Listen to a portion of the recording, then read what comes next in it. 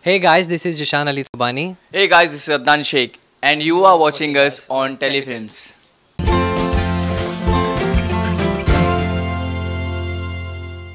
सो सबसे पहले आप दोनों का वेलकम करना चाहूँगी टेलीफिल्म पे Thank you. Thank you.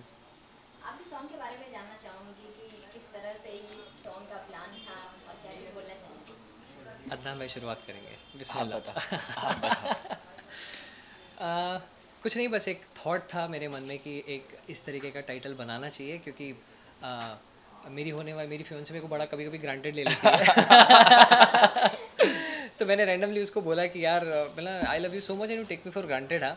And एक थॉट आया और मैं बस I went to the washroom हाँ और वॉशरूम में मेरे को थोड़ा ये गाने की धुन बहुत बड़ी अच्छी बनी है। धीरे धीरे गाना बनाया मैंने। गाना बना के मैंने अदनान भाई से शेयर करा। मैंने अदनान भाई ये गाना है आप बोलो कैसा लग रहा है? बोले भाई this is the wow thing इतने पहले मेरे एक दो गाने सुने हुए वो भी उनको ऑफकोर्स अच्छे लगते हैं माशाल्लाह। हम लोग उसके लिए प्लान कर चुके थे आगे बढ़ रहे थे बट बोले this is the bang on thing मेरे तरफ़ से तो उसको लेके हम आगे बढ़ते हैं and that's how we started and आप क्या बोलना चाहेंगे जब आपके पास आया? बहुत अच्छा लगा गाना दिशान भाई के तो बहुत ही बहुत सारे गाने अच्छे सभी गाने ऑलमोस्ट अच्छे ही है और रमज़ान के माह रमज़ान जो सॉन्ग निकाले थे रमज़ान के मंथ में लास्ट ईयर हाँ। तो वो टाइम से मैं भाई को पहचाना मैं अमान भाई के थ्रू पर वो वो सॉन्ग भी बहुत अच्छा लगा था। तो उसके बाद बात चालू थी कि आगे कुछ करेंगे इंशाल्लाह। अब वो टाइम आ गया विद इन वन ईयर एक साल हाँ, के अंदर ही। एक साल भी नहीं जैसे हुआ हुआ, हाँ। हम्म, एक साल भी नहीं हुआ और तो गाना बहुत सारे गाने दिशान भाई सुनाए थे पर ये वाला सुना है ना सब गाने अच्छे थे। मुझे ये सबसे बेस्ट लगा। तो मैं बोला कि ये करेंगे तो। क्योंकि डायरेक्टर भी एक्टर भी तो ऑफ़ कोर्स फिर तो होना ही था। This should be the best thing right so granted lady है ये जो टाइटल है उसके बारे में आप क्या बोलना चाहेंगे?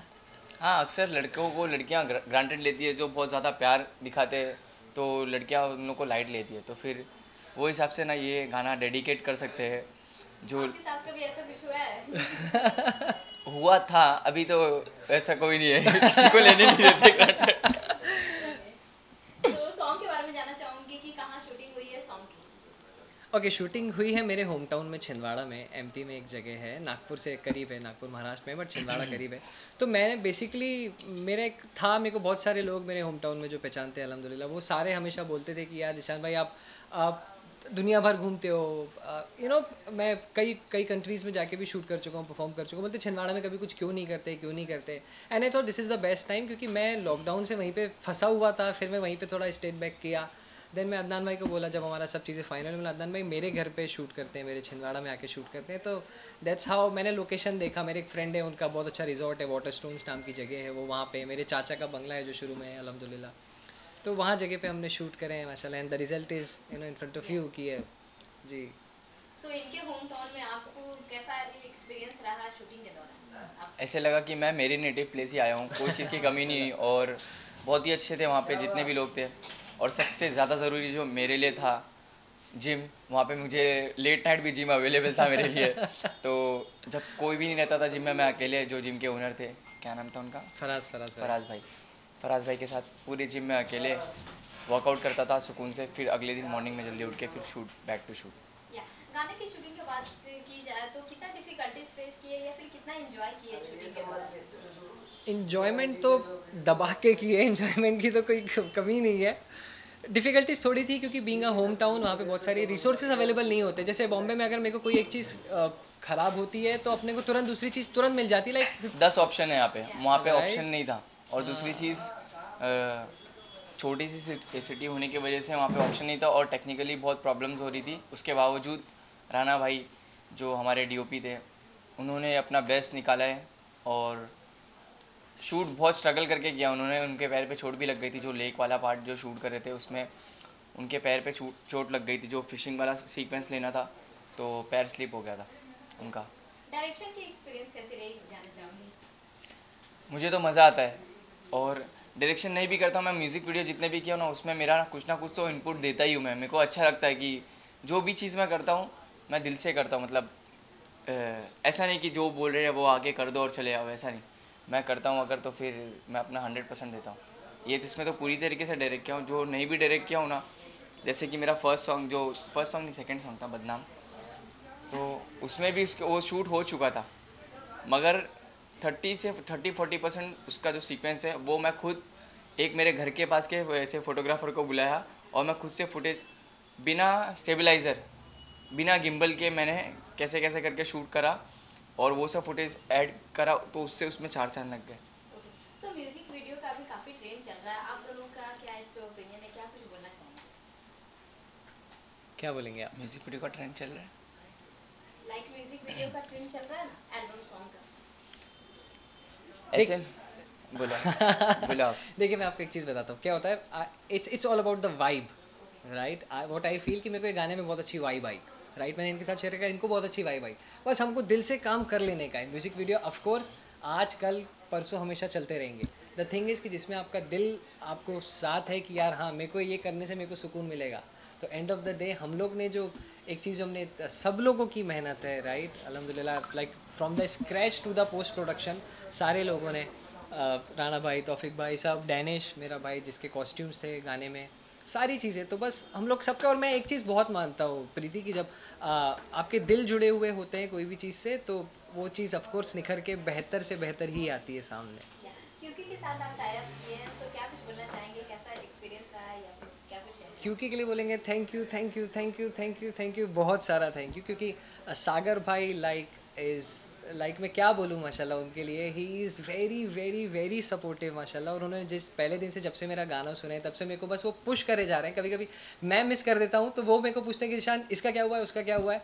और बहुत बहुत सपोर्टिव है माशाल्लाह। जोविन है सना है सेवियो है सारे लोग सारे लोग जितने भी हैं विनीता है सब लोग यहाँ और मैं एक चीज़ हमेशा बोलता हूँ जब भी मेरे को ना टीम से कोई नया बंदा कॉल करता है कि भाई मैं मैं क्यूकी से बोल रहा हूँ या मैं क्यूकी से हूँ या कोई कनेक्ट करते तो यार सो हम्बल सो माशाल्लाह नाइस कि मैं आई एम रियली ग्रेटफुल कि मेरी जो जर्नी स्टार्ट हो रही है मैं I am coming into commercials right मैं पहली बार एक कमर्शियल गाना कर रहा हूँ विथ अदनान माशाल्लाह being a director and actor the lead actor of the song and Sagar भाई हैं जो भी हैं सब लोगों का जो सपोर्ट है माशाल्लाह क्यूकी का जो नाम है और क्यूकी की जो टीम है माशाल्लाह वो मतलब इससे बेटर स्टार्ट क्या होता अल्हम्दुलिल्लाह। सो ये पहली बार आपकी डायरेक्शन से क्या कुछ आपको सीखने को मिला? पहली बार नहीं था। ओके सो क्या कुछ आपको डायरेक्शन से सीखने को मिलता मुझे सीखने को तो जितना भी इंसान सीखे उतना कम है क्योंकि कोई जितना भी सीखो उतना कम है कोई परफेक्ट हो नहीं सकता। तो मुझे डेली कुछ ना कुछ सीखने को मिलता है और मैं सीखना चाहता हूँ। अपकमिंग प्रोजेक्ट्स के बारे में जानना चाहूँगी क्या कुछ आ रहा है बहुत ही जल्द आने वाला है। मेरे छोटे भाई का एक सॉन्ग है मज़ाक रैप सॉन्ग है तो उसको भी मैंने डायरेक्ट किया है। तो वो भी बहुत जल्द आने वाला है। रमज़ान से पहले पहले ऑन एयर हो जाएगा वो उसी की यूट्यूब चैनल से। इंशाल्लाह ड्रीम प्रोजेक्ट जो आप करना चाहते हैं। ड्रीम प्रोजेक्ट जो नसीब में लिखा रहेगा वो होएगा। मैं तो हार्डवर्क कर रहा हूँ। जो नसीब में और किस्मत से पहले और जो नसीब से ज़्यादा कुछ मिलेगा नहीं। तो देखते हैं अभी किस्मत में कब लिखा है। हाँ ज़रूर ज़रूर क्यों नहीं क्यों नहीं। तेरे लाई नरलावा मैं ओ सोनिए तेरे लिए चा बनावा मैं ओ सोनिए जो रात को तेनू भुख लगे मैगी बनावा मैं। ਜਾ ਫੀਲਿੰਗ ਮੈਂ ਐਕਸਪ੍ਰੈਸ ਕਰਾ ਤੂੰ ਹੱਸਦੀ ਰਹਿੰਦੀ ਏ। ਮੈਂ ਤੈਨੂੰ ਲਵ ਕਰਦਾ ਕੁੜੀਏ ਤੂੰ ਮੈਨੂੰ ਗਰੰਟਡ ਲੈਂਦੀ ਏ। ਮੈਂ ਤੈਨੂੰ ਲਵ ਕਰਦਾ ਕੁੜੀਏ ਤੂੰ ਮੈਨੂੰ ਗਰੰਟਡ ਲੈਂਦੀ ਏ। ਮੈਨੂੰ ਤੂੰ ਫੈਸ਼ਨ ਸਟਰੀਟ ਕਹਿੰਦੀ ਖੁਦ ਨੂੰ ਬ੍ਰਾਂਡਡ ਕਹਿੰਦੀ ਏ। ਮੈਂ ਤੈਨੂੰ ਲਵ ਕਰਦਾ ਕੁੜੀ ਕੁੜੀਏ ਤੂੰ ਮੈਨੂੰ ਗਰੰਟਡ ਲੈਂਦੀ ਏ। ਐਂਡ ਲਾਸਟਲੀ ਆਡੀਅנס ਕੋ ਕੀ ਮੈਸੇਜ ਦੇਣਾ ਚਾਹੀਏ बहुत सारा प्यार लव यू ऑल और ऐसे ही सपोर्ट और प्यार करते रहो। कल जैसे ही मैंने रात में लेट नाइट मैंने प्रीमियर की स्टोरी डाला तो कल रात से ही कमेंट्स आने लगे थे और फ़ैन पेजेस लोग उसको फैलाना चालू कर दिए थे। तो कितना एक्साइटेड थे वो उन लोगों का प्यार देख के समझ में आता है। सो so, बहुत बहुत ज़्यादा मैं एक चीज़ अल्हम्दुलिल्लाह ये चीज़ मैंने कभी एक्सपीरियंस नहीं किया हूँ बट अदनान भाई का एक हैशटैग चलता है एडी लवर्स माशाल्लाह वो इतने क्रेजी हैं अदनान भाई के लिए कि I can not even tell you मतलब मैं जिस दिन से मैंने सिर्फ़ एक फ़ोटो डाला था अदनान भाई ने पहले रिविलेशन डाले थे मेरे पीछे जैकेट का कि बताओ ये कौन है? तो पब्लिक पकड़ पकड़ के मैसेज करी sir it's you sir it's you sir it's you Zeeshan ये आप हो ये आप हो हम पहचान गए. तब से लेके अभी तक मैं देख रहा हूँ ना एक एक चीज़ पे इतने हज़ारों कमेंट्स मतलब इतने इंटरेक्शन है मैं बता नहीं सकता हूँ माशाल्लाह। नहीं नहीं नहीं। अल्हम्दुलिल्लाह। वो, वो तो बताओ इन्होंने एक पोस्ट में टारगेट दिया था कि 500 कमेंट्स करोगे? 500 500 comments- 1000 हाँ, जो भी था। तो तो कुछ तो बोले थे कुछ तो मैं तो मैं कुछ करूँगा हाँ। मेरे को थोड़ी देर में कॉल करते बोलते भाई मैंने तो डाला था मुझे लग रहा था कि दो तीन दिन में आएँगे कमेंट्स आधे घंटे में कमेंट कर दिए वो ये प्यार है ये माशाल्लाह जो भाई के लिए जो पब्लिक का जो प्यार है और जो सबकी दुआएँ हैं माशाल्लाह बस हम होप करते हैं कि पब्लिक को बहुत पसंद आए सब लोगों को बहुत पसंद आए and it it make all of us happy इंशाल्लाह जब इंशाल्लाह ये सामने आए। एंड बस आप लोग प्यार दीजिए ऐसे सपोर्ट करिए एंड इंशाल्लाह फिर और भी चीज़ें आपके सामने आएँगी। जब ऑडियंस से इतना प्यार मिलती है तो कैसा फील करते हैं आप? इतने सारे कॉम्प्लीमेंट्स मिलते हैं सॉन्ग्स को लेकर। अच्छा लगता है और बहुत खुशी होती है बहुत ग्रेटफुल फील करते हैं। अभी होली आ रही है तो होली को किस तरह से सेलिब्रेट कर रहे हैं अभी तो लॉकडाउन भी हो रहा है। या सो कोविड के मद्देनजर रखते हुए कैसे सेलिब्रेट करने वाले हैं? कोविड को मद्देनजर रखते हुए घर पे रहूँगा।